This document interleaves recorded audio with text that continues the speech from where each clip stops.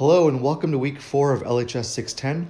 Today we'll be answering the question What makes a health related question important and answerable?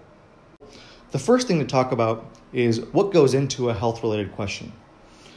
And one of the most common ways of asking a question that you can then try to answer based on scientific evidence is the PICO framework. And PICO basically stands for the P being patient, problem, or population for which an example would be hospitalized patients or minority groups.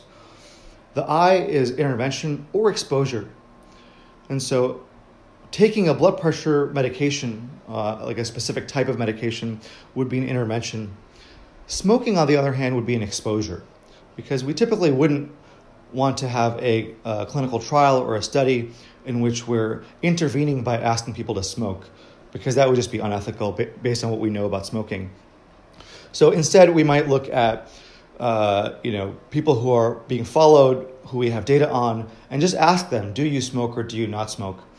And so in that case, smoking is an exposure. It's something that we have not asked people to do as an intervention, but we're finding out have they been exposed to it through either them smoking or through secondhand smoke, etc. The C in PICO stands for comparison. So an example would be if your intervention was a specific type of blood pressure medication, a different type of blood pressure medication might be a comparison group, or not taking a blood pressure medication would be another comparison group. And so the interpretation of what you find is going to change uh, dramatically based on what your comparison is. And the outcome might be something like having a stroke. So if we put that all together, the PICO statement can be converted into a question. And so this question that was kind of bubbling up here in our PICO statement would be in hospitalized patients, is taking lisinopril better than taking hydrochlorothiazide when it comes to preventing stroke? So, obviously, that question required you to have a lot of domain knowledge about what the different medications are, what are some of the outcomes of interest. But hopefully, you working with your group for the midterm project should be able to come up with something that is you know relevant to you either in terms of you know medical conditions that you're familiar with or disparities that you can look at um, that you've identified in lit- scientific literature. When asking whether a health related question is important think of it as something that you're going to pitch to someone in an elevator as being a big problem and when you want to convince someone that in this thing that you're looking at is a big problem you'll typically want to look at the three aspects that make up the triple aim of the US healthcare system. And we'll get into that in the next slide as to what that is and what your pitch might be.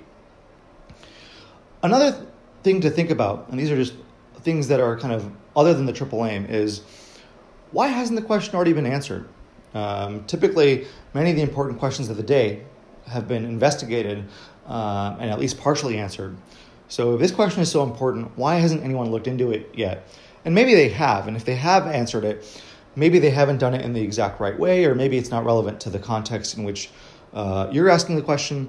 So it's useful to understand what already exists so that uh, if you're repeating what already exists, you're kind of aware of that and aware of the assumptions that have been made previously in a similar analysis. The other question you want to know is if you're going to make this pitch, who are you making this pitch to?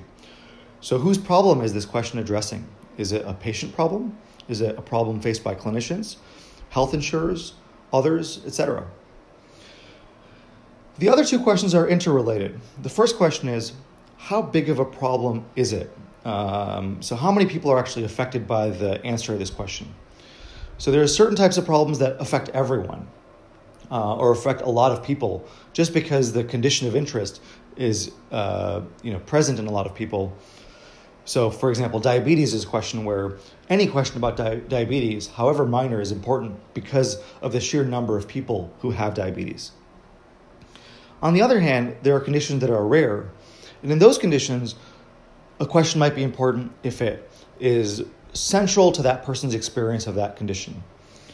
So, for example, there are diseases that are you know, uh, highly rare, but that disease is completely debilitating. And so, if you can look at ways of addressing the degree of debilitation and make life easier uh, in those conditions, that would be of big interest. Even though it doesn't affect that many people, for the people whom it affects, it really affects them greatly.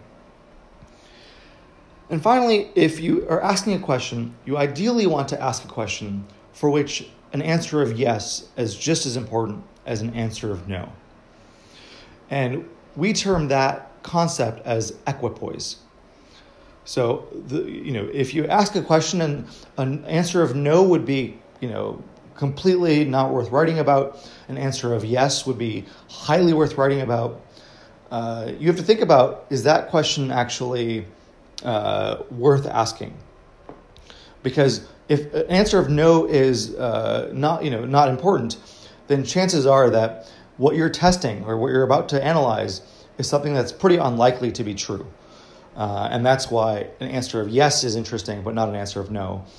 And if it's really unlikely to be true, uh, you know, the chance that even if you find something interesting, that actually bearing out, you know, in other analyses uh, is again likely to be very low.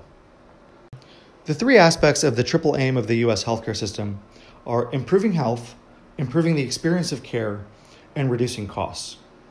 And although we aspire to achieve those three aims within the US healthcare system, we're clearly not there yet. Because if you look at the amount of money we spend, and if you look at population health outcomes like infant mortality, you know, we're among the most expensive healthcare systems out there and not among the top when it comes to these population health measures.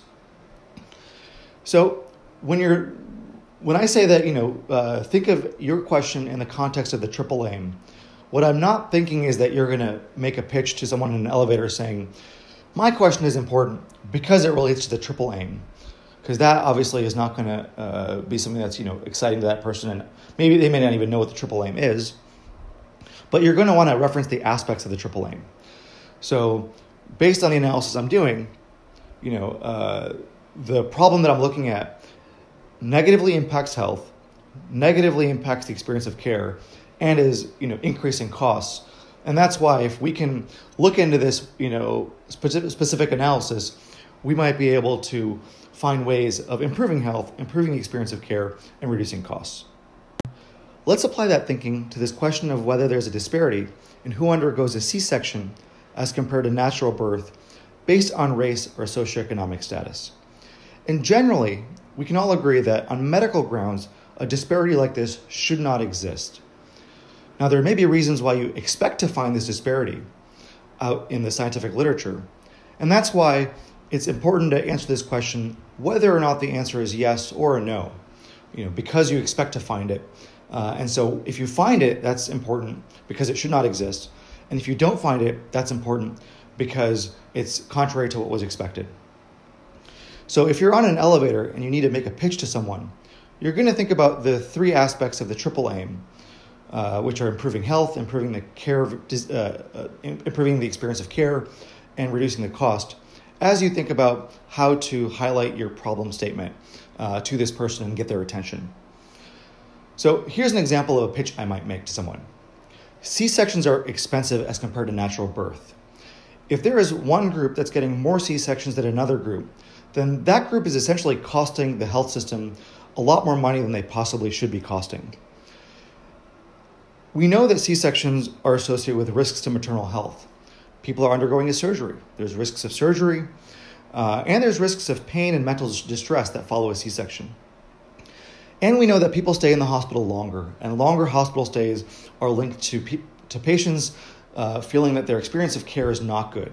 They're not satisfied when they undergo a C-section if they could have undergone uh, natural uh, childbirth. So based on this, it's important to look at disparities because if we find a disparity, then there's a group out there that's costing more money than they should, having worse outcomes, and having a worse experience of care. And that's something that we can potentially fix. And again, I kind of made those assertions about cost and about uh, you know health outcomes and about patient satisfaction. But if I was writing this up as a pitch that's you know written as a proposal or as a paper, I'd want to make sure that all of my assertions are backed up by scientific evidence.